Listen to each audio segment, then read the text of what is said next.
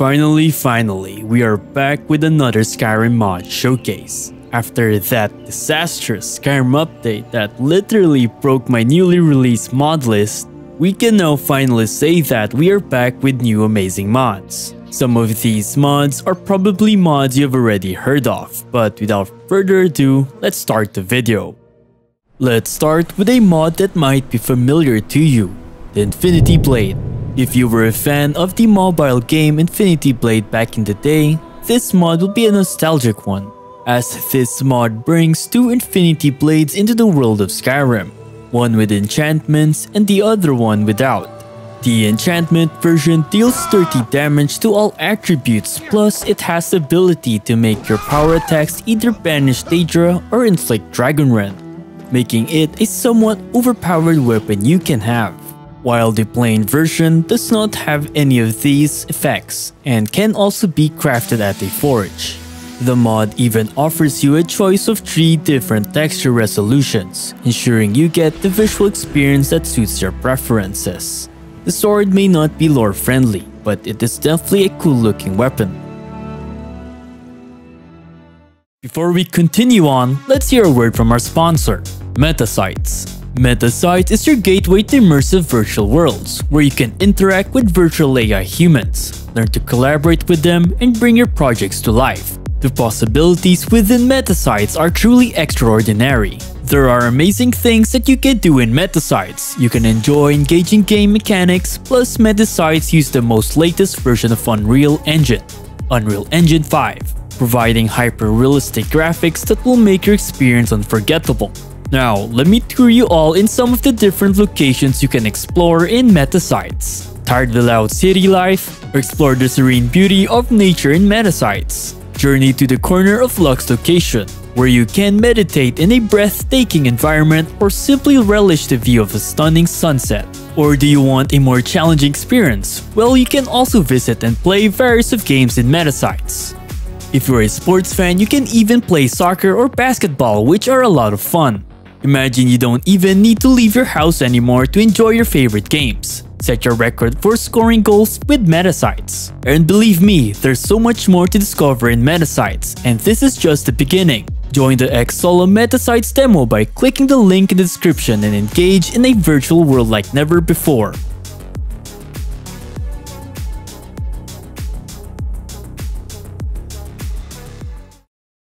First up, we have a brand new immersive mod called Simple Fishing Overhaul. As the name states, the mod redefines the entire fishing experience in Skyrim, making it more enjoyable and engaging. In vanilla Skyrim, you were not allowed to use third person when fishing. Well, this mod now allows you to do so. This also includes its own new animation for it, though it's not perfect but it does the job. Now you're allowed to freely move your camera, providing a more enjoyable experience.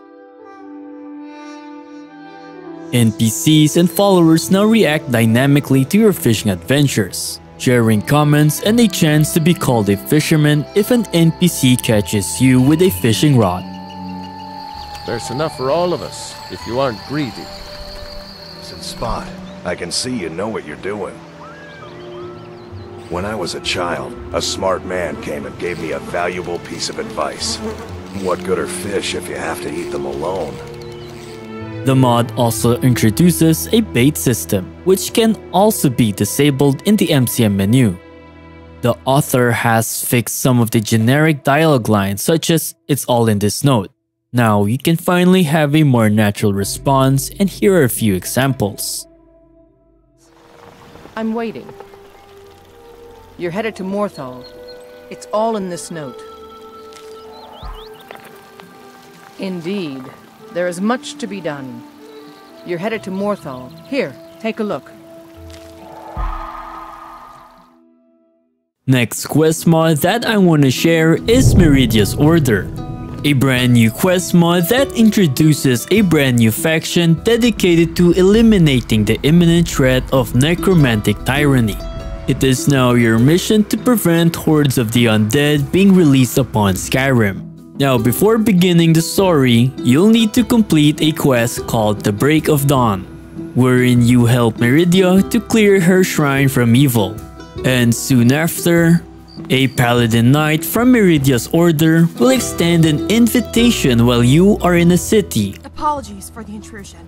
I am Paladin Marith of Meridia's Order. High Priestess Alara has sent me to find you. Or if you prefer, you can go directly to the Sanctum on your own. The mod features a dynamic questline, where the choices you make significantly impact the unfolding story. High quality fully voiced characters, I have something to ask of you. This is Meridia's Sanctum, and we are Meridia's Order. You are welcome here, so as long as you adhere to the benevolence of Meridia and respect the High Priestess. New locations, and even boss battles, offering hours of additional content. The quest also seamlessly integrates with existing lore of Skyrim, which I know a lot of you will enjoy. I personally had fun playing the quest, and the amount of dynamic choices you get to choose from makes the story even more compelling. The next mod I want to share is a brand new armor mod called Yaldabaoth Armor. This brand new armor mod introduces a set of armor and a mighty greatsword, drawing inspiration from medieval fantasy. What's more is that the mod comes with 4K and 2K textures. There's also a darkened version of the armor as well as a divine version, which I think some of you would like even more. Now I appreciate the author making a variety of different color palette to the armor, giving us the option to choose what suits our taste. It's also worth noting that the armor is also craftable at a forge under the ebony section, and the mod is .esl flagged.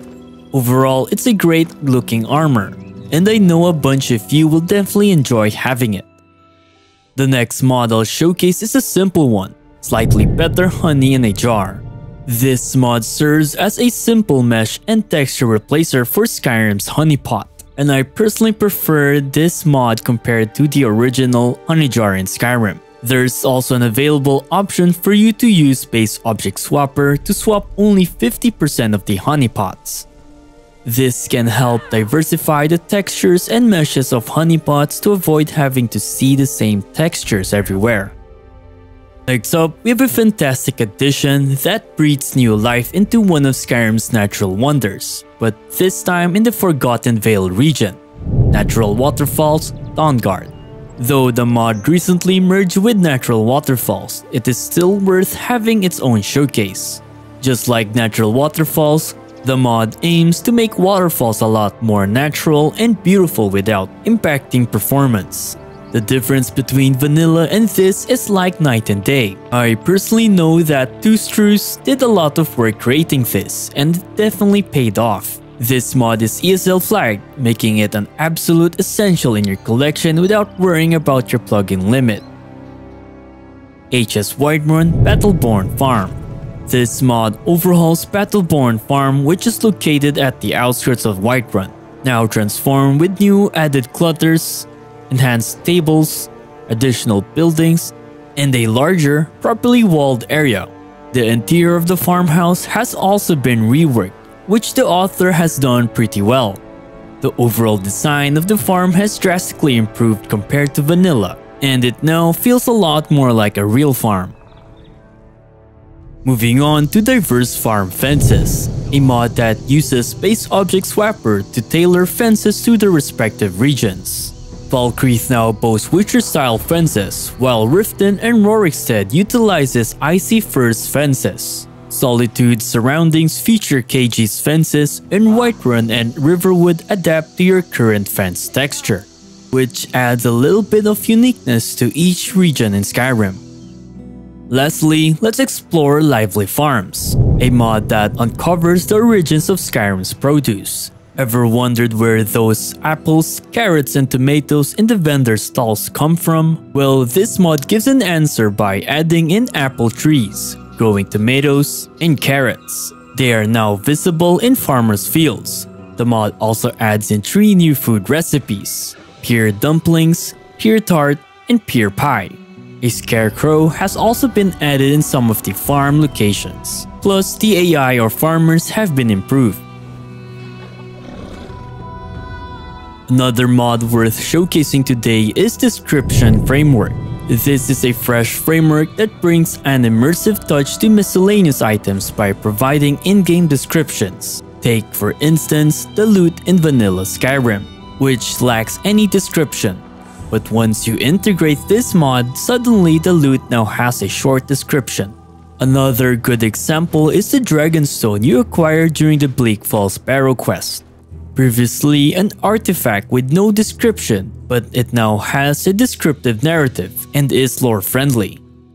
It's fantastic to see the potential of this mod realized, and it's already gaining traction with other mods like Vanilla Item Description, Mythos of Skyrim Immersive Artifact Descriptions, and Creative Club Item Descriptions. I encourage you to check these additions as they are definitely worth having. Next up, we have Ancient Atmoran Remains. This immersive mod introduces the colossal remnants of the ancient Atmorans to the frosty regions of Skyrim. These remnants serve as memories from a bygone era, showcasing the colossal figures of fearless warrior giants who once dominated the Skyrim landscape. In my opinion, this mod not only enriches the lore of Skyrim, but also captivates the imagination. I personally think that witnessing these colossal giants adds a layer of fascination when we go and explore Skyrim. Now, for the next mod I will showcase is a mod that I was actually forced to showcase. Nah, I'm just kidding. Noble Elegance. What makes this mod stand out is its seamless blend of two popular skin mods, Diamond Skins and Demoniac Skins. The author's main goal is to aim for that sweet spot, drawing on the translucent and silky textures of diamond skin while incorporating the facial finesse of demoniac skin for a youthful yet mature appearance. The mod also comes with 4K textures, perfect for screen archers to use. Now, are you tired of seeing the same loading screen again and again for the past 12 years? Well, thanks to Balls Chapter 1 Dawn of Gods, we finally have a new loading replacer. No, it's not all about balls, but it features 160 different high quality Skyrim related images, featuring most of the gods, both old and new, as well as the Dawn era story. Another cool thing about this new loading screen mod is that each loading screen has a selected lore text from in-game books and other sources. This also works with 21 by 9 monitors as it's the only true 21 by 9 loading screen mod available. I personally know the author has other plans in adding more high quality images. After all, this is just chapter 1 of the series. Next up, we have Unique Armors and Weapons Retexture SE, another amazing retexture mod by Sarf Bio. And when I say amazing, I really mean it. This mod sets out to redefine the visual items and armors of Skyrim, specifically targeting unique armors and weapons scattered across the realm. From Daedric artifacts, staves, ash spawns, and my personal favorite, the Grand Champion's helmet. Like any other mod by the same author, the attention to detail is truly amazing. From the bright washy looking textures we see in vanilla Skyrim, now it's a lot more refined and high quality. So I definitely recommend you guys to give it a try. Lastly, we have another brand new armor, Elmlock, Armor and Blade. This mod introduces a stylish set of craftable ebony light armor along with a greatsword. The armor's appearance comes with a blue tone. It can also be worn by both male and female characters. What sets it apart is the inclusion of a hooded helmet variant, adding a touch of stealth to your character's appearance. Just like any other armor mods, it has different texture resolutions for you to choose from. I personally like how the armor looks and I will definitely keep this mod in my personal load order. Well, that's all for today's video. Thank you all for watching till the end. Special thanks to the 540 Beast for being my first God tier Patreon member. And of course, big thanks to my other channel members for joining the membership I have on YouTube or Patreon. This helps support me and the modlist development of Eldergleam. I hope this video helped you and if it did, please take a moment to leave a like, comment, and subscribe to my channel. Stay safe everyone and happy modding!